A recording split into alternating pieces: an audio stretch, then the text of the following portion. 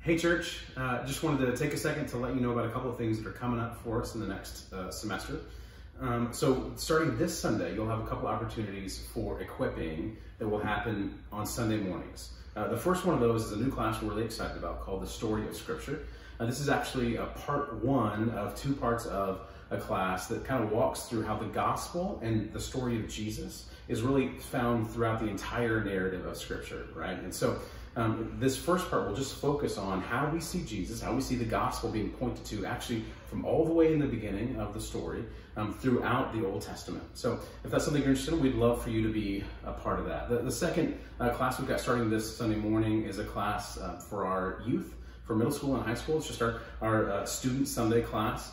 Now, I just want to make sure you know, in all of our student environments, the goal is not for us to entertain or babysit your students. In fact, that all of those student environments are going through very substantive, very gospel-centered um, instruction and equipping for your students. So just as whenever we go through like the story of scripture to equip us to be able to learn what it looks like for us to live out the call of being a Jesus follower in our life, that's exactly what we're trying to do in our student environments. And so uh, you can have confidence that that's what we're trying to do with your students if they get involved uh, with that student Sunday class or with the elementary class or with our nursery. Um, all of those are age appropriate environments where we're doing that same sort of equipping and instruction, just like we're trying to do uh, for all of us.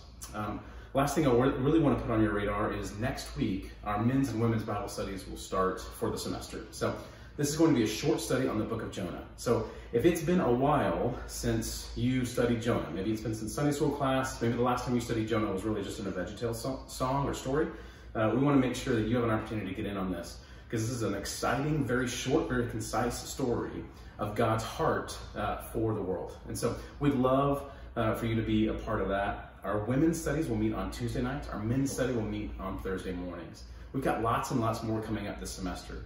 Um, at the end of February, we've got a marriage class specifically for those who are about to get married, maybe in the summer or sometime this year.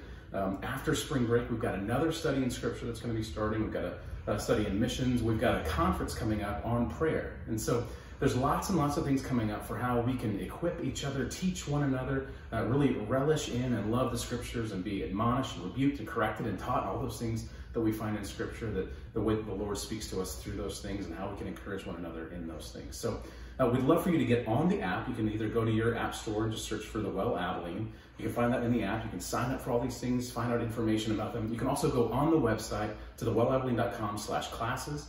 There you'll find when all these things are happening and forms that you can sign up. So we'd love for you to take part of these things. If you have any questions, you can always reach out to one of us at info at thewellabilene.com and get more information. All right, guys, have a great week.